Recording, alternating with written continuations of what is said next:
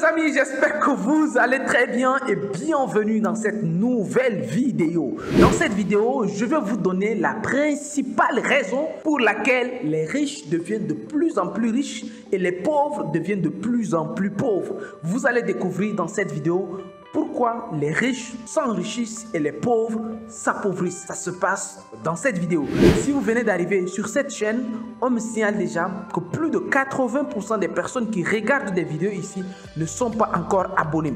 Voilà pourquoi les amis, je vous invite à vous abonner. Si vous n'êtes pas encore abonné, abonnez-vous pour recevoir nos multiples vidéos hebdomadaires qu'on publie ici. Nous publions chaque jour une vidéo ici pour vous donner beaucoup de valeur, des vidéos de très haute qualité et de très haute factures qui sont données ici gratuitement. Abonnez-vous, mon équipe et moi avons besoin de vos encouragements. Ça nous motive à produire encore plus de vidéos de qualité et en quantité. Donc ici, en fait, c'est Vivre et réussir en Afrique. Moi, c'est Justin et nous animons plusieurs conférences. Chaque année, nous parcourons des dizaines de pays un peu partout en Afrique pour animer des conférences, des séminaires, ainsi de suite. Et cette année, en fin de cette année, nous avons pris trois mois encore pour parcourir cinq pays. Ça commence par le Sénégal. Le 9 septembre, nous serons à Dakar. Et une petite précision également, c'est que avant, dans les précédentes vidéos, j'annonçais que la conférence allait se tenir à l'hôtel Pullman. Malheureusement, la salle de l'hôtel Pullman ne fait que 500 places et nous avons déjà des inscrits, plus de 500 inscrits déjà. Voilà pourquoi nous avons jugé utile de délocaliser la conférence dans la grande salle de l'hôtel Radisson Blue qui fait 800 places. Donc on est actuellement à plus de 500 personnes. Donc il reste moins de 300 places disponible. Donc, je vous invite vraiment mais à aller réserver rapidement vos places parce que cette conférence est très, très attendue du côté du Sénégal. Donc, je vous invite mais vivement à aller réserver vos places. Donc, après le Sénégal, nous allons continuer au Mali. Oui, mes amis qui sont à Bamako, on arrive. C'est le 7 octobre dans la salle de conférence internationale de Bamako, la CICB. Donc, à Bamako, ça va être le 7 octobre. Après le Mali, nous allons être du côté du Burkina Faso. 22 octobre. Retenez bien cette date-là, le 22 octobre du côté de Bamako, ça va être très très chaud. Là-bas également, les tickets sont disponibles. Donc prenez rapidement, mais rapidement pour ne pas être surpris. Parce que vous-même, vous avez ceux qui sont au Burkina, ils se rendent compte de l'année dernière. On était obligé de faire la conférence en deux jours parce que la salle ne faisait que 1500 places. On avait rempli le premier jour, le deuxième jour également, on a pris encore à peu près 1500 personnes. Cette fois-ci, la salle de banquet, c'est uniquement 2000 places. Donc on va faire ça en un seul jour. Donc, vous voyez que 2000 places, ce n'est pas 3000 places comme l'année dernière. Cette année, c'est seulement 2000 places. Donc, vraiment, allez-y rapidement prendre vos tickets pour ne pas vraiment rester dehors. Parce que même l'année dernière, là, le deuxième jour, il y avait des personnes qui étaient dehors. Parce que c'était même plus de 1500 personnes qui étaient là. Donc, faites tout pour prendre vos tickets avant. Mais vraiment, avant ça. La plupart des personnes qui étaient déjà là l'année dernière, ce qui est sûr, ils vont être encore là. Donc, vous qui venez de me découvrir, ainsi de suite, vraiment prenez rapidement vos tickets. Après le Burkina, ça va être du côté du Togo. Oui, dans le palais des congrès. C'est le 5 novembre. 5 novembre. Avant, je vous ai dit, c'est le 4 novembre à l'hôtel Eda Oba. Mais là-bas également, la salle était trop petite pour ça. Donc, on a pris carrément le palais des congrès pour la conférence. Les amis, à Lomé, ça va être également du lourd. Donc, je ne vous en dis pas plus.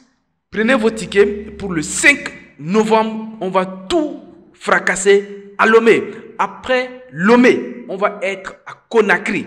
À Conakry, ça va être le 11. Donc le 11 novembre, nous serons dans la salle Malik Condé. Ça, c'est même à l'université Kofi Annan. C'est au sein même de l'université Kofi Annan. Donc, la salle, la grande salle de conférence de l'université Kofi Annan, la salle Malik Condé, c'est là-bas que nous allons y être le 11 novembre du côté de Conakry. Les amis, toutes ces dates-là, les tickets sont disponibles. Réservez rapidement vos places parce que cette tournée-là va continuer également. Il y a d'autres villes qui arrivent. Voilà, on est en train de préparer des grandes choses également pour la, pour la RDC, pour la Côte d'Ivoire, Mauritanie, le Tchad, le Cameroun, ainsi de suite. Ces pays également, nous sommes en train de ficeler les dates, mais ça arrive. On va refermer cette parenthèse et revenir au sujet de cette vidéo où j'étais en train de vous donner la principale raison pour laquelle les riches s'enrichissent et les pauvres s'appauvrissent. La principale raison est que les riches sont plus informés que les pauvres. Les pauvres s'informent très peu et surtout très mal.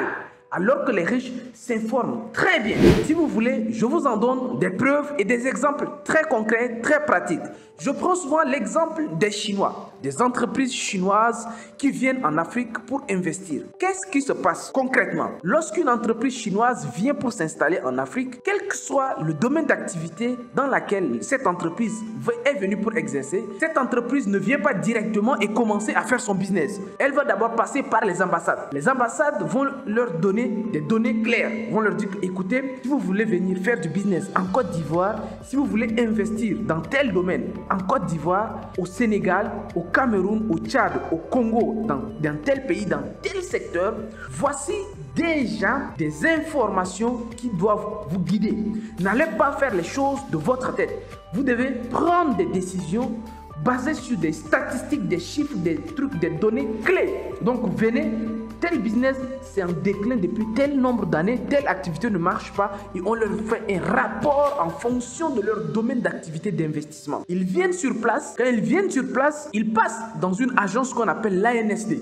La plupart ne connaissent même pas, la plupart des locaux, même les entreprises locales ne connaissent même pas le rôle des agences des statistiques et les agences de démographie. La plupart des entreprises locales ne savent même pas à quoi servent ces, données, ces agences. Eux, ils vont juste se lancer comme ça. Une entreprise qui vient pour vendre, une entreprise turque, chinoise, portugaise ou française, peu importe, mais ces entreprises et ces entrepreneurs savent l'information doit guider nos actions. On ne doit pas agir sans être informé. Ils viennent, ils prennent des données, ils analysent, ils analysent, ils analysent et ils disent que non, on va se lancer dans la production de ça, on va se lancer dans l'importation de ça, on va faire ça, on va faire ça. Peut-être que vous n'allez pas peut-être tout de suite comprendre pourquoi ils ont pris cette décision de faire ça, de faire ça, de faire ça. C'est un peu plus tard que vous allez vous rendre compte. Voici comment les entrepreneurs sérieux fonctionnent. Ils partent d'abord à partir des données, des données statistiques sur plusieurs années et ils se basent sur des chiffres, sur des analyses, sur, des études de marché.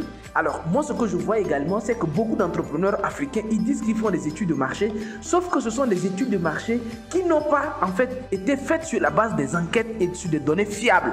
Voilà pourquoi je dis que les pauvres sont souvent très peu informés ou bien mal informés. Parce que vous allez prendre des données, il y a des gens qui vont sortir dans la rue et puis ils vont donner des flyers, ils vont essayer de questionner des personnes comme ça. Non, il y a des données plus poussées, plus approfondies que vous ne pouvez pas trouver comme ça. C'est ce qu'on appelle les informations blanches. Vous allez vous, renseigner comme ça de gauche à droite. Oui, il y a ça, il y a celui-là qui a fait, qui n'a pas marché, il y a celui-là qui a fait, mais qui a fermé. Vous allez vous baser sur des données qui sont erronées, des données qui ne sont pas fiables pour décider d'agir ou de ne pas agir. D'autres, ils ne vont pas dans ce sens. Je prends souvent les cas des supermarchés qui détiennent certaines données très capitales à des décisions. Et c'est sur cette salle, sur cette base-là qu'ils vont décider. Malheureusement, beaucoup d'entrepreneurs africains, comme ils, ne, ils négligent, ils prennent pas ça en compte, ils échouent.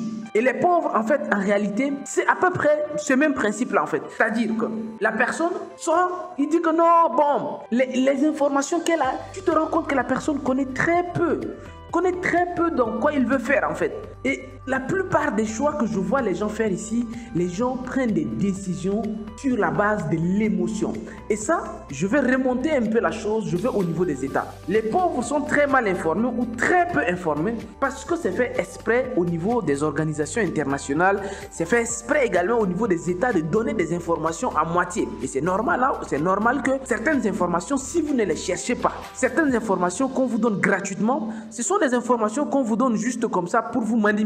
Ce sont des informations à but manipulatoire ou bien voilà, c'est vraiment pour manipuler les gens, c'est pour déformer l'information. On va dire non, euh, écoutez, qu'il y a tel pourcentage de ça, qui a ça. On donne des, données qui ne sont pas du tout, du tout exactes, juste pour calmer les gens, juste pour manipuler l'opinion publique. En réalité, les données ne sont pas exactes. Et ceux qui n'ont pas ces informations-là, ils vont comme ça se baser sur ces données-là pour faire ce qu'ils veulent. Mais bon, ça, vous allez peut-être me dire que Justin, là, tu es en train de parler des entreprises, tu es en train de parler des gouvernements, tu es en train de parler des États. Mais bon, pour une personne, quel, pourquoi euh, le manque d'information. Ok, d'accord, je vais vous dire maintenant concrètement. Aujourd'hui, quand un individu, je prends maintenant un particulier, quand un particulier veut investir, quelles sont les sources d'information? Il va d'abord demander aux personnes qui n'ont jamais fait cette activité, ils vont, ils, vont se renseigner au, niveau des cousins, des cousines, des amis, ainsi de suite, voilà, des parents, voir leur avis des personnes qui n'ont jamais fait ce qu'ils veulent faire, mais ils vont aller se renseigner auprès d'eux pour prendre des décisions sur la base des informations qu'ils ont reçues des personnes qui n'ont jamais fait l'activité dans laquelle eux, ils veulent se lancer. Il y a des comme ça, il y a des gens qui vont aller faire ces, ces genres de, trucs-là. Mais en fait, vous êtes en train de vous lancer dans une, une activité qui n'a aucune base en fait. Et d'ailleurs, je vais maintenant descendre de plus près et, et, et très très simple, vous prendre des cas Très simple. Aujourd'hui, quand tu dis à quelqu'un d'aller acheter des livres pour lire, donc typiquement des livres de, de, stratégie, des livres autobiographiques, des livres de motivation, des livres de... Voilà, tous les livres, là, les livres, vraiment quoi, prendre des livres de qualité, pas des livres de science-fiction, des livres de qualité pour lire. Non, bon, moi, je veux pas lire. Voilà quelque chose qui commence à, à faire mal. Quand quelqu'un me dit que moi, je n'aime pas lire. Mais voilà pourquoi on dit que on cache l'argent, on cache la richesse, on cache les choses de valeur dans les livres. Parce que quand tu dis à une personne qu'il y a une bonne information dans telle chose et puis la personne elle dit que non, moi je n'aime pas. Les amis, c'est très simple de déduire maintenant pourquoi les gens sont pauvres. Les gens sont pauvres parce qu'ils ne sont même pas informés des choses qui vont venir. Les gens, les gens sont très pauvres. Tout récemment, j'ai dit sur cette chaîne, j'ai recommandé un livre qui a été publié par la CIA sur le monde en 2040. J'ai recommandé ce livre-là. Mais je sais que très peu de personnes vont aller lire ces livres-là pour chercher à savoir les choses qui vont venir en 2040. Les nouveaux métiers qui vont venir après les années 30. Après 2030, 2030 à 2035, il y a des nouveaux métiers qui arrivent. Tu dis ça aux personnes d'aller se préparer aux choses qui arrivent. Ils disent que non, ils n'aiment pas lire. Mais vous voyez, entre deux personnes, même si vous êtes extraordinaire, même si vous êtes ingénieux, et qu'on vous demande d'aller quelque part, on ne vous donne aucune information de là où vous, allez partir. On vous dit que ça se trouve juste dans tel endroit. On vous, on vous donne pas l'information de là où vous partez n'est pas assez clair.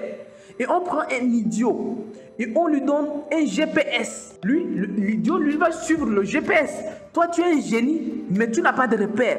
De vous deux là, quel que soit ton niveau, ton coefficient, ton QI, ton quotient intellectuel, tu vas te perdre ou bien tu vas perdre beaucoup de temps pour arriver alors qu'un idiot à qui on a donné l'information, on lui a dit que ok, arrivé ici, tu fais comme ça, tu fais comme ça.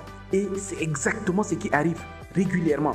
La plupart des pauvres, ils vont faire de mauvais placements dans des banques. La, la plupart des pauvres, ils vont dans des écoles. Euh, ils ne savent même pas pourquoi ils vont dans les écoles parfois des écoles qui ne leur donnent pas la vraie connaissance. La plupart des pauvres euh, ne savent même pas quelle filière choisir pour leurs enfants. Ils, vont choisir des métiers qui sont déjà périmés. Il y a des gens qui vont faire certaines études où tu sais que, en fait, ils sont en train d'aller faire un métier du passé, en fait.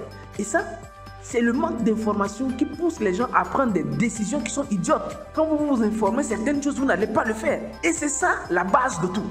La base de la réussite, c'est avoir la bonne information. Tant que tu n'as pas la bonne information, quelle que soit ta richesse, tu vas perdre ça. Tu vas, tu vas faire des erreurs. Quelle que soit ton intelligence, tu vas devenir bête si tu n'as pas les bonnes informations. Les amis, moi, à mon avis, la seule différence, c'est à ce niveau. Quand les vrais riches veulent investir, ils vont aller prendre des personnes qui ont déjà investi et qui vont leur prodiger des conseils sages quand quelqu'un qui va devenir riche, il s'approche de quelqu'un qui est déjà riche. Il s'informe. Il prend des bons. Même si on lui demande de payer cher, il paye. Moi, je pars, je vais des séminaires, je vais dans des séminaires où par jour on paye 500 000. On a payé par jour 250 000. Mais les informations que tu reçois là-bas, ce sont des informations qui te guident directement dans tes investissements, dans tes choix à venir. Donc, les amis, si vous voulez à l'avenir devenir riche, la première des choses, c'est de chercher des informations de qualité. C'est de chercher des informations qui sont utiles et qui vont vous permettre de mieux vous projeter à l'avenir. Sans cela, vous allez tourner en rond et vous n'allez pas avancer. C'était ce que j'avais à vous partager. D'ici là, cherchez les bonnes informations pour votre vie. Cherchez des bonnes informations pour votre entreprise. Cherchez les bonnes informations pour vos familles cherchez des bonnes informations pour vous diriger. Sinon, les amis, vous allez commettre beaucoup d'erreurs sur votre parcours. Les amis, portez-vous bien. D'ici là, on se dit à très très bientôt. Au revoir et ciao ciao.